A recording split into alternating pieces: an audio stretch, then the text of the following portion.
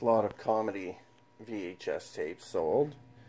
It's all more or less stand up or something. Sam Kinison. You know, I recognize him, but I just vaguely remember uh, he had that kind of look to him.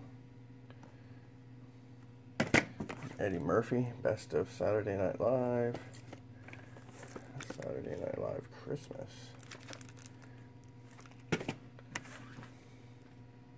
Tom Green. He was funny for a minute. I wonder if he's still making movies, probably.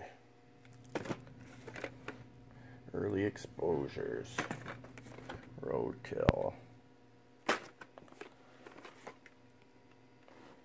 Yeah, so that's a, a good stack of VHS tapes. Good winter watching. And what do you think of this? This is Alf. This is an Alf mask I've packed around for a few years, but he's Alf has seen better days. It's missing an eyebrow and an eye. Who knows what else.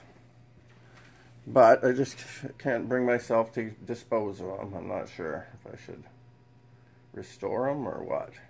But that's Alf, adult size.